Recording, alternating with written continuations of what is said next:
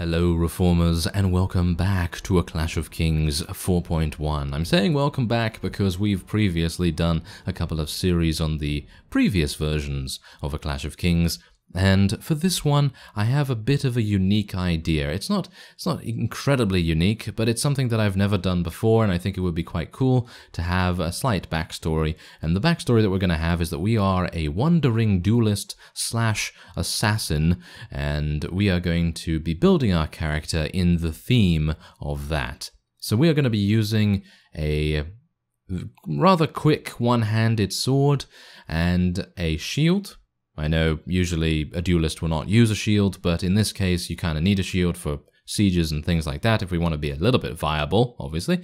And then otherwise, we are going to be having a huge amount of athletic skill, shield skill, maybe riding skill, really depends. And then we're also going to be having a bunch of crossbow proficiency as much as we can get at the very least. So I'm going to try and build something that is going to have a massive amount of athletics, as you can see. Eight athletics. Crazy amounts of athletics right here. I'm actually unsure whether I should do something like that or whether I should do something a little bit different, like getting me some wound treatment. I I don't really think that that's going to help us too much, is it? Uh, I, I don't know. I mean, persuasion? No. I think we're going to just go full on. I'm going all in with this particular character build. And on top of that, we do have a slightly different way of going about things in A Clash of Kings 4.1 because the major change that has been implemented by the mod creator is that you require renown for recruiting people from villages and things like that. Now, I am extremely I, I, I don't know whether I, Alois. yes, I typed Alois first. Anyway, the point is, I'm a little bit in two minds about this decision. Now, I, on the one hand, I really don't like it. And there's kind of a good reason for that because I personally feel like it is somewhat restricting the amount that a player can choose. And in the grand scheme of things, that is what Mount and Blade has always been about, at least to me, for a player to be able to choose whatever they want to do and when they want to do it. However, this this does kind of prevent you from doing that. Of course, there are various different mods out there that have changed the way that you start and have forced you into doing certain things that you may not have wanted to do. And so there, there is, you know, there is something to consider there. But obviously, for me, I, I, I'm not entirely sure whether I'm behind that particular decision. But at the moment, I'm just trying to beat this bandit, to be honest. As you can see, however, it is just utter craziness, utter insanity that we are able to dodge, block, and do all these kinds of things because we are a duelist. We are a duelist. I mean, look at look at how amazing. Ah, yes, I was going to say, look at how amazing I am, just dodging and blocking and doing all kinds of wonderful things and avoiding taking damage. I mean, if it wasn't for that one hit, which, by the way, has been changed.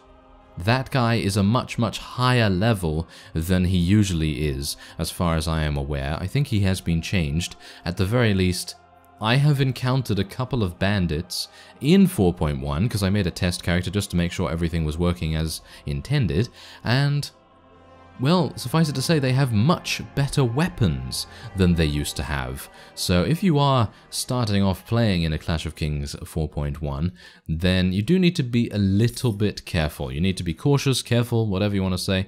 And yeah, that's uh, maybe a bit disappointing to me as well because I, even though yes, okay, yeah, you do need to be careful in the early game of basically any warband mod, with the exception of ones where you start as king or something. But anyway, the point is, we need to do something rather specific to be able to recruit villagers as quickly as possible. And the specific thing that we have to do is, you saw that I ticked the gather companions option at the very start in the character creation, right?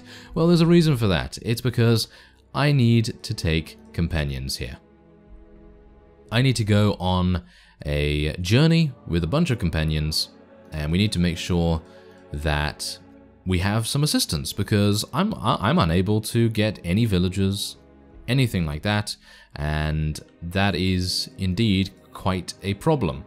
So you need someone to help you? Well, companions are here, so hopefully they're going to be helping me.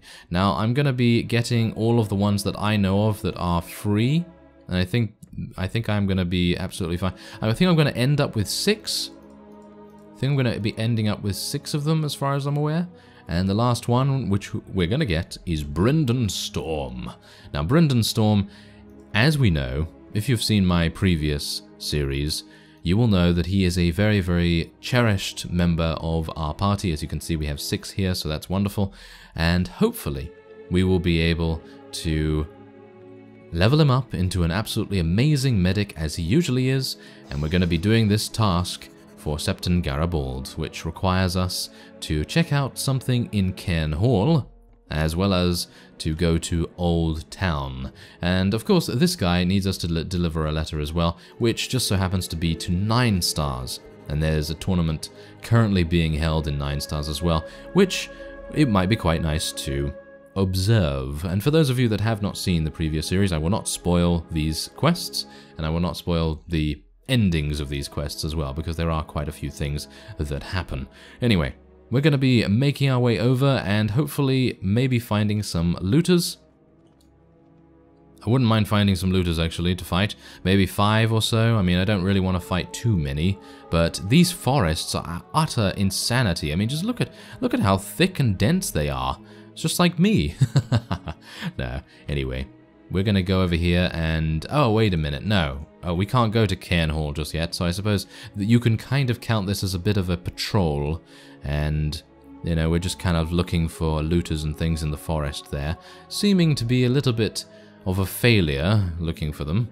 Anyway, did I... Wait a minute. Did I, I, I didn't speak to this guy before, did I? No, I haven't spoken to that guy before. Ah, well, never mind. It seems like they've all changed positions now as well, so it's unlikely... Ah, this fellow. I would love to be able to take this fellow, but 25,000 is what you need, which is a huge, huge shame. And yeah, I don't think I can get any others. Am I am I correct about that? Maybe. I mean, I have looked through them all previously, just to make sure that I knew which ones were which. So, yeah, anyway, we're just going to speak to the farmer here. Ah, yes, yes, I am Tom. The elder sent me here to find a knight, true and honourable. Yes, you've been having problems with a wight? Yes, yes, a revenant, a wight, a ghost. Saw it myself. Yes, okay, well, we're going to see if indeed there is a wight infesting. Ooh, very nice. We have an extra companion. Thank you very much for joining me. But yes, we're going to be going to Cairn Hall and taking a look and seeing whether there is indeed a wight infesting the area. Can't afford that. Well, that's unfortunate, isn't it? Okay, so yeah, I think we've spoken to all of the companions that we can right now, and we're going to go and get into Cairn Hall. Now, this is the thing. We need to try and earn as much renown as we can. This is the current early game goal. And to do that, what we're going to do is we're going to fight as many looters as we can because you can get a renown value of 3 for this battle, for example. And we need a grand total of 75 renown. Yeah, it seems like a lot right now, doesn't it? Yeah, it seems like a lot because it is. yes, it is a lot of renown to be able to recruit some villagers. And see, now that's, that's where it brings me to the next point. I think putting a requirement on being able to recruit at villages is a decent enough idea. I don't mind that at all. I, am actually in favor of having a little bit of a requirement, but I do not believe that you should have a requirement as high as 75 renown. I mean, yes, okay, you know, the mod creator can decide to do whatever they want to do, and I'm not going to hold it against them in any way, shape, or form. I just feel as though if it was me, I'd probably decide to maybe have a renown value of about 25 as a requirement, if you want to have any requirement at all. Because having a 25 requirement does give you just a little bit of incentive to complete the quests. And I think that that was the main reason why the mod creator decided to change how the recruiting works. Because the quests have had a lot of work put into them, and I agree, you know, quests should in general be focused on a little bit more because there's a lot of work You know, there's a lot of work that goes into these quests and making them interactive and all that sort of thing. And it is a huge shame when, you know, players will decide, hey, you know what, I'm, I'm not going to do the quests. But that's the whole thing. I feel as though pigeonholing and forcing people to do a quest when it's not necessarily required, like it's not a story-based mod, you know, like if there isn't like a main story or anything like that, then I, I feel like that might be a little bit uh, of an incorrect decision. But obviously, I who am I? Who am I to question a mod creator? I mean, you know, it is a free mod, and it is a highly polished mod, and well, it's very enjoyable. I mean, I've enjoyed it for a number of years already, so who am I to say anything about that? I think as long as the mod is still playable, still enjoyable to many people, then that's all that counts. And I'm just saying that the renown value at the moment that is a requirement on the villages is a little bit detrimental to that enjoyment, at least for me. Anyway, as you can see here, there is actually a maester here. Has, have you seen a wight about here? By the seven, another one. Look, I'm not a wight. As I tried to tell that screaming girl when she came up here, I've been sent here by the Citadel to do some excavating, and I'll be gone in a day or two. This cairn really is a marvelous treasure trove. Found a cache of scrolls from before the conquest, and tablets speaking of the Battle of the Bloody Pool. Ah, why didn't you just explain to them what you were doing here? Ah, but then I'd have to explain to them what excavating means, and before you know it, they're coming to me to bless their cows and heal their wounds and wed their daughters. Keep ignorant peasants away from me, and I can die a happy man. Ah, there you go. So he's obviously just a bit irritated by all of the ignorant fools surrounding him. Yes, exactly. Anyway, we're going to move back to Goodman Tom and tell him what has transpired, and hopefully he will, well, we're just going to basically tell him, I guess, that it was a wight, and we defeated the wight, and now everything is fine. I'm actually wondering whether Linaria is... Oh. oh, I thought I didn't have enough money. But apparently I have enough money. Okay, well, that's fine. She's 250. I think that's that's pretty decent. Pretty decent price. Anyway, Yes, Tom, I've taken care of the wight. Truly? Well done, sir. I knew a true knight would have no trouble. I don't look like a knight, do I? Look at me. Ah, hilarious. Anyway, Maron has advanced in level, which I am very happy about. And I am thinking, do I have some... Do I have a couple of weapons? I have a scythe. Uh, I suppose that will have to do, because Maron actually does not have any equipment at the moment. As you can see, he literally has nothing. So he literally has nothing as well as he doesn't even have 8 strength, which is hilarious in itself. Anyway, we're going to give him another point in strength and... Uh, what else? What else? I suppose we should just make him into some sort of wonderful power strike using fellow, and hopefully eventually he's just going to be an absolute beast in combat. Wouldn't it be amusing if he turns out to be our best fighter? Yeah, it would be pretty funny. Anyway, this guy has 4 in surgery and 2 in first aid. So I'm wondering, what should we do with him? because we have Brynden, who is already giving us 6 in surgery. Maron is giving us 1 in wound treatment, but I suppose I should make Sarthos the first aid and wound treatment fellow, because Brynden at the moment has 13 intelligence, but he has nothing in first aid or wound treatment, so I suppose I should make the other guy wound treatment and first aid, and then Brynden can just focus on surgery. But me doing that is splitting pretty hardcore what kind of archetypes both of them can turn into. So I guess... Uh, okay, I, I think I'm just... Okay, I'm gonna maybe turn this guy into our primary medic. And then Brynden can kind of... Maybe be our engineer or something along those lines?